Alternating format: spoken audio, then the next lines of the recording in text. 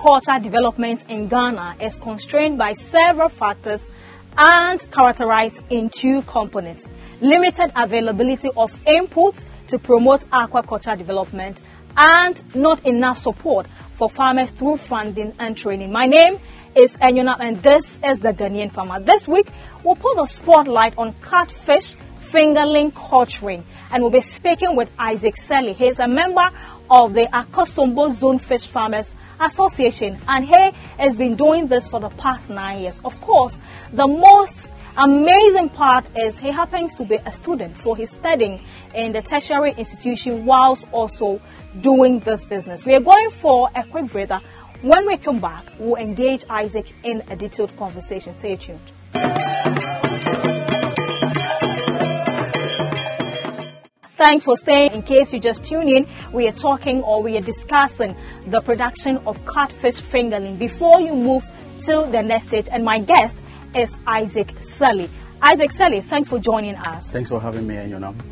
Now, when we say catfish fingerling, what exactly are we talking about? Um, when we say, let's say, first, let's say fingerling. Okay. Uh, when it's a fingerlings in aquaculture, Mm.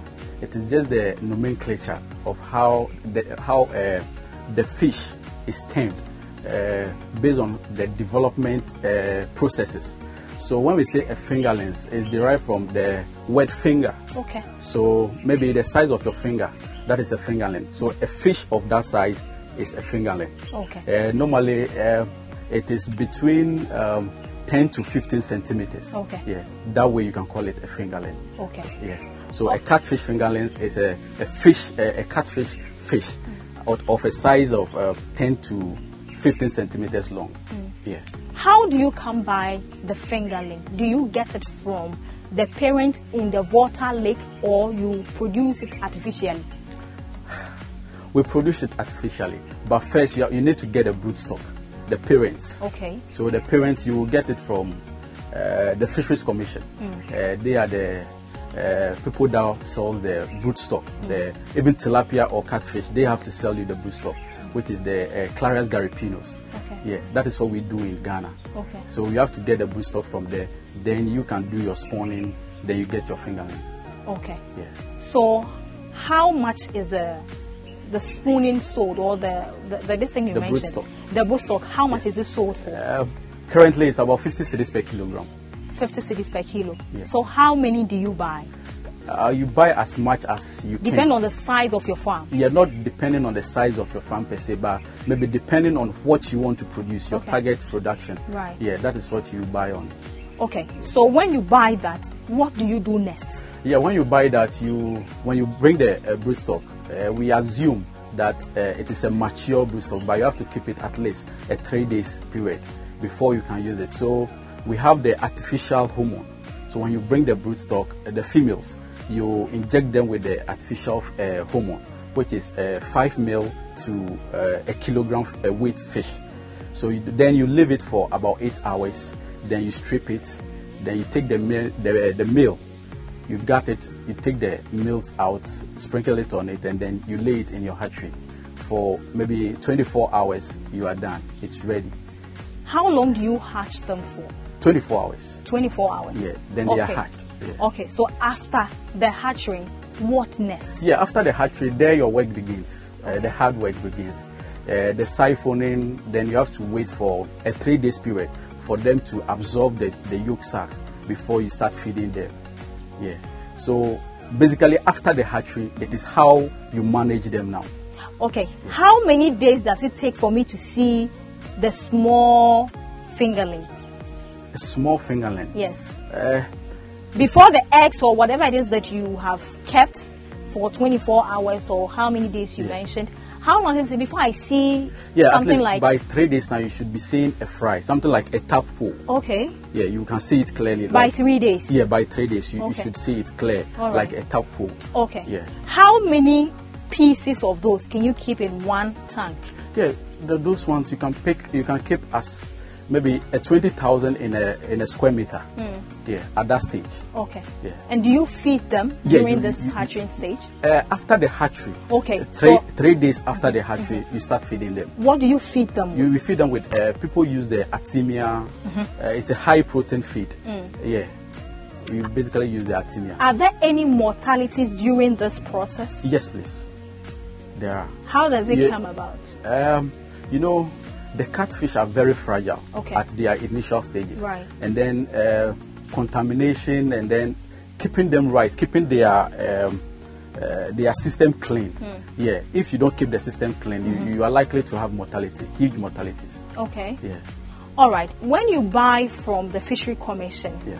how many do you get from one of the boots? Uh, Oh, okay. Yeah. Yeah. One female, uh, one female fish can give you between forty thousand to hundred thousand eggs. 40,000 Yeah. to 100,000 100,000 from just one, one female. fish. Well, yeah, one female fish. Okay. But uh, as to where whether they will hatch, they Mm-hmm. will all hatch, is the question. Is there a likelihood not all of them will hatch? Yeah. And what it's, it's a 50-50 uh, uh, possibility. Yeah. What happens? Yeah. There's sometimes uh, maybe the meal you are using, Mm-hmm. the meals are not very good. Okay. Yeah. And then also maybe uh, the system you are running, the water quality. Uh, you didn't change the water on time. The oxygen depreciates, and then uh, ammonia, Mm-hmm. ammonia build up in the system. It will kill them. Okay. Yeah. What what sort of water is best if like you are doing like you produce the fingerling and people outgoers come and buy? Yeah. What kind of water is good for it? Is it tap water or the one from the water leak?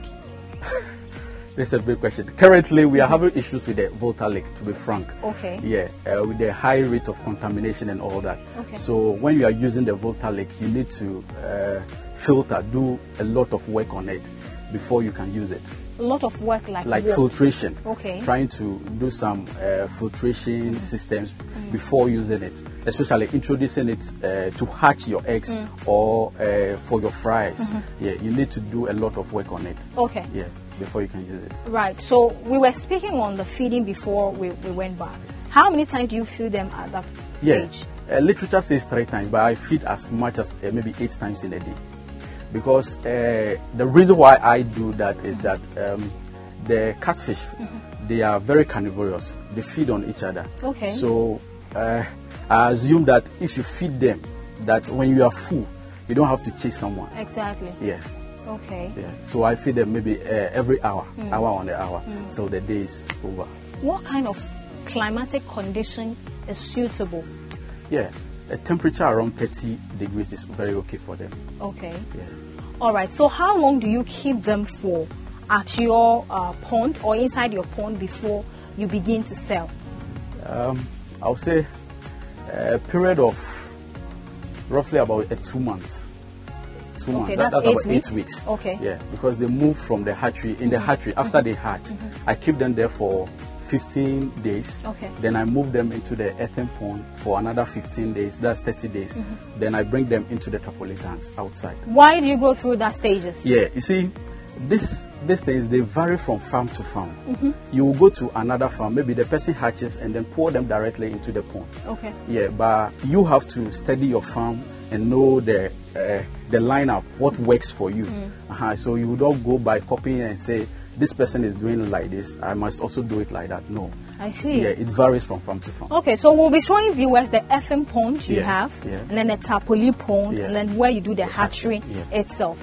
Okay, so when you're about to sell, how do you sell? Do you count it one, two, three, four, five? I imagine counting this Yeah, this tiny fish. Do you count or you just put it on a scale and then you're able to tell this kilo is going for this amount? Yeah, unfortunately, um, the tilapia Mm-hmm. we we do average weight, and then based on that, maybe we just fetch and then give. But the catfish is not like that. We count one, one, one. You count it. Every sing, single one, one, So one. one is how much? One, uh, depending on the stage, but I sell between 60 to 1 cedi 20 pesewas. 60 to 60 1 cedi. pesewas to 1 cedi 20 pesewas. Okay, Yeah, depending on the size of the fish. okay. Yeah. All right, so how much did you invest when you were starting this business? is starting this uh, the catfish hatchery I actually invested about 30,000 Ghana cedis. What and what went into the 30,000? Uh, getting the place, Uh-huh. uh, the land, uh, electricity, and then put it up some structures. Right. Yeah. First, I always started with one trapole and then uh, two of my hatchery Okay. uh, tanks. Yeah. Okay. Yeah. All right. Now, how is the marketing bit? Because this program is not just to educate people, but we also want to let them know the marketing demands or availability. How is the marketing bit like? How do you go about the marketing? Marketing. Uh, I would say that marketing, uh, marketing catfish. Uh, there's there's already market. Okay. Right now, I can't meet my demand. Really? Yeah, I'm unable to meet my demand. Who and who do you sell to? the people along the uh, Akosombo Yeah, Stretch. the Akosombo stretch, and then uh, people from outside, like what I've sent to uh, Bibiani, Tarkwa, and all that.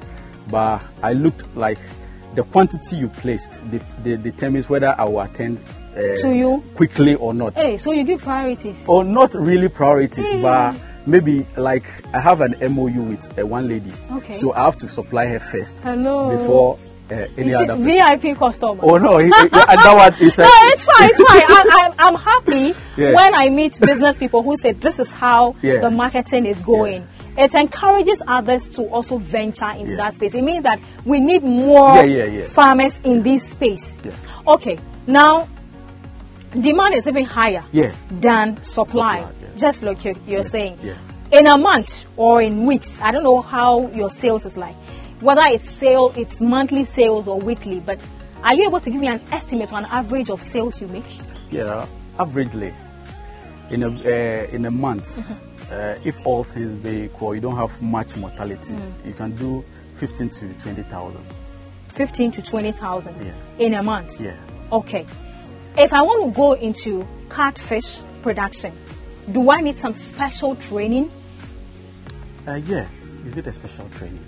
Okay. Yeah, because um, the catfish, uh, it's very dicey. Uh, you can't do it. The hatching you can hatch. Okay. Even in your kitchen, at your backyard, you can hatch. But keeping them, uh, managing them, uh, it's a, it's a whole lot. Now let's talk about the management bit. Yeah. How do I manage the catfish? If I want to be an outgrower and I buy from you, Yeah. how do I manage it Oh, yeah, to the- from- ensure less mortality? From that point, I think your work is limited. Okay. Yeah, your management uh, uh, practices or what you put in is less. Okay, so an Compared- outgrower has less work to do compared to the hatchery. Okay, so Yeah. as a hat, someone who is into the hatchery, how is your maintenance work like? In case somebody also want to go into the hatching and not the outgoing, what are your maintenance culture? Yeah, the maintenance. Uh, the first one is the biosecurity. Uh, it's very important in the hatchery. Okay, And then uh, how do you mean biosecurity? Break it down. Your practices that can bring uh, disease into your uh, hatchery. Uh, you try to uh, limit them, just like what we have here, the foot bath. Yeah, so when you were coming, I'll let my viewers see when when you're coming from the house to Yeah, the farm, farm, yeah. you need to do foot bath, Yeah, there's a foot bath. and the water contains what? uh, it's a chlorine mixed with uh, parazole. Okay, Yeah. I have to always step in that Yeah, before I step in walk into the farm. Yeah, any detergent. Okay. Yeah. Okay. Be okay. Aside that, what other practice do I need to adhere to keep up consistently? Yeah, uh, your water quality. Okay. Yeah, because uh, they are aqua, uh, like fi- like water organisms. So their environment matters to them very much. So uh, you keep your uh, water quality at the optimum level. Okay. Yeah, and then you always siphon the the dirt. If you see every mortality, you pick it out. Uh, the fish, the excess feeds, the one they haven't eaten, you try to siphon them out. Okay. Yeah, quickly. Okay. Yeah, else it will contaminate the The rest. yeah, the Okay. water, and then Ah. uh, in, by morning There will be have, trouble. Yeah. Have you ever experienced that before? Oh yeah, very much. How many, How often when very, you started? ve- very often. okay. Even very- at this level. Yes. Okay. Yes. Uh, you you can sometimes everything is clear, everything is clean, yet uh, they Mm. You just have de- yeah, they just decide to die, and Oh, that, that okay. is it. Okay, so they decided to die. yeah, they decide Okay. to die. Now, how- Mm-hmm. that is one thing. that is why um, uh, uh, the catfish hatchery is just like it's almost like a, a plus one minus one kind of Mm. business. Yeah. So if uh, you are not strong, Mm-hmm. uh, yeah, you can't move forward. Mm. Yeah.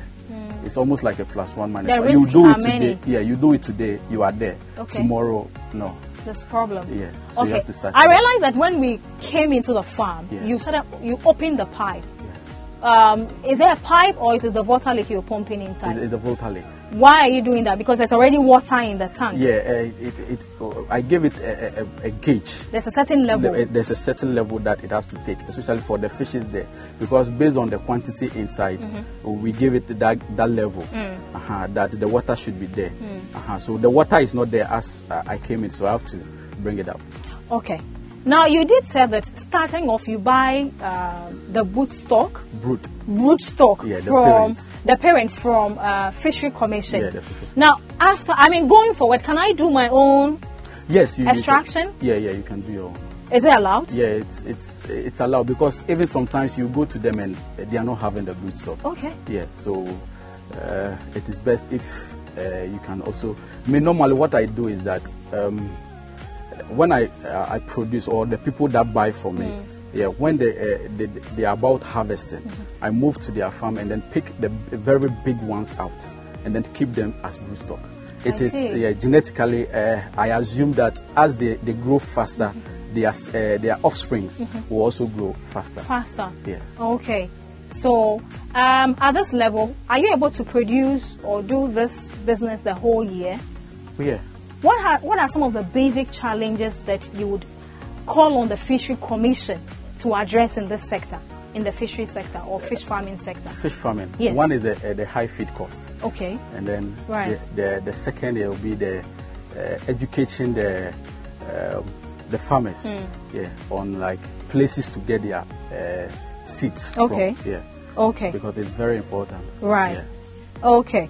So, gone by was an insightful conversation with Isaac Selly, and he is uh, the owner or the founder of Cellulom. What again? farms and consult Farms and Consult on social media. In case I skip any question, make sure to catch up with him for him to help you. Still on the subject of catfish fingerling production in Ghana, somewhere last year, 2021, the Fishery Commission distributed over 35,000 fingerling to farmers to promote uh, the production of fish uh, in Ghana. So fish consumption in our meal in Ghana is almost close to 60 to 80 percent. And so we try to find out from one person or a client who is into trading of catfish to find out from him what he considers when he's buying catfish from uh, any of the farms and how the business has been like for him ever since he started this business.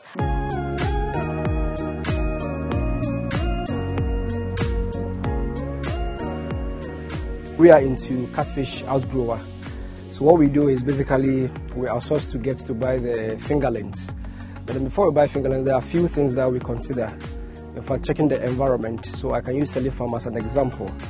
Um, if you visit Selly Farm, you could see the environment and also the best practicing which he put into it. Now coming back to, I mean, the kind of catfish fingerlings he produces. I mean, it's the African type. I mean, the African catfish, which is well accepted by all and is the um, the Clarias breed. That is what he do, and that is what I mean the outgrowers or the market people for which we sell to. That is the preferred type for them. So why not? We always rush over there. And also, there's one thing that we look at. What we look at for records. You know, there are a few things in terms of catfish. The cannibalism level is high. So there are best practices that some of the farmers do and others do not do. What it means is definitely, even if we are being given birth to as twins, there are times that one will grow bigger, other will grow. You understand that? Uh-huh. So the same with even though they hatch them the same day, the same time, some will be bigger than others, and because their cannibalism level is very high, so they tend to bully. They feed on each other, and it makes them grow exactly. So, example like Selly Farm, if you get there, he do what we call grading. So he grade them into various sizes. So if you buy from such farmer, if you take it to your place, the level of cannibalism will be minimal. But in the case where you visit a farm where they mix it all up, you have more of the shooters or the bullies to kind of feed on the weaker ones or the smaller ones. So at the end of it, you end up, you could buy like 5,000 pieces fingerlings. You may end up having like 1,500 or 2,000. Sometimes just like 1,000 pieces. But with such farm, you could, even if you lose some, just some handful, less than 3% or 4%. So these are one of the two things we consider before buying fingerlings.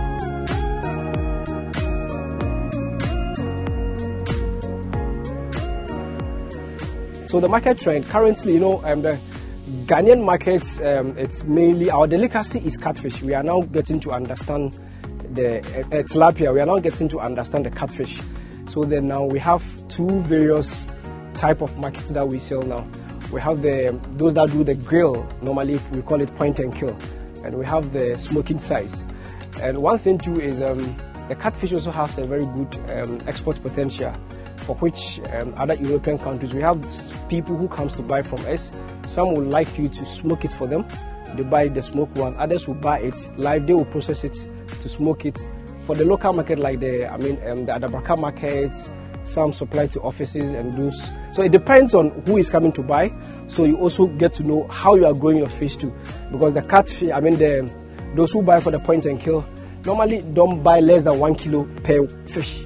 So they buy like 1.5, 1 kilo, 1.2 kilos and above.